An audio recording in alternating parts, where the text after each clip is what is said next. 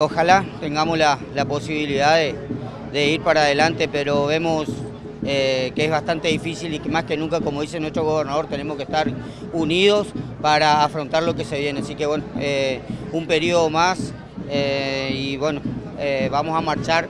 con las indicaciones de nuestro gobernador, marcharemos, pero no estaremos quietos, sino que vamos a estar marchando lentamente da cierta tranquilidad a la hora de gestionar un municipio teniendo en cuenta que están dentro de una provincia que la conduce Infran con, todo lo que siempre eh, alienta y da esperanza. Sí, la verdad que la figura de nuestro gobernador nos da una cierta tranquilidad, pero bueno, a nivel nacional eh, ya él dijo que, que va a tratar de, de tener enganchado algunas algunas eh, obras y todo, entonces bueno, eso nos da la tranquilidad de que sabemos cómo negocia y cómo a la hora de, defender a la provincia él lo hace, así que esa es la tranquilidad que nos da a nosotros los municipios, pero bueno, también sabemos que muchas cosas se nos va a ir reduciendo a nivel nacional. El día de ayer, domingo 10, a las 19 horas, eh, presté juramento por este nuevo mandato de cuatro años aquí en la localidad de Ibarreta, realmente reconfortados por el voto de confianza de la gente, ya que es mi tercer mandato que asumo, asumí el día de ayer, acompañando obviamente este modelo formoseño liderado por nuestro gobernador, el doctor Gini Fran, realmente preocupado por el discurso que dio el presidente ayer,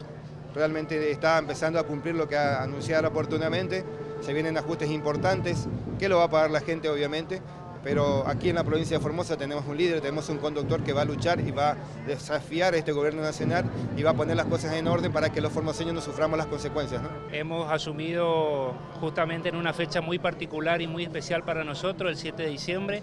día en que nuestro pueblo eh, ha cumplido años. La verdad que el desafío que tenemos es enorme, son cuatro años donde vamos a tener que trabajar codo a codo todos los, todos los actores de, las instituciones del pueblo, eh, en conjunto también con el gobierno de la provincia de Formosa, sabemos el acompañamiento constante de nuestro conductor, así que eh, vamos a seguir trabajando por la unidad que él siempre nos pide. ¿Cuántas obras hay obras en ejecución, obras que por allí podrían correr peligro para, su localidad, de que se paralicen? Sí, teníamos varias obras en ejecución y también lastimosamente eh, la construcción de las viviendas que ya la empresa nos ha comunicado que se ha paralizado también por la incertidumbre de lo que se viene, que es lógico como ha pasado en todo el territorio provincial y también en otras provincias, ¿cierto? El discurso del, señor presidente el día de ayer nos dejó con mucha incertidumbre, más dudas que certezas, así que, eh, como decía el compañero Adán, nosotros estamos convencidos de la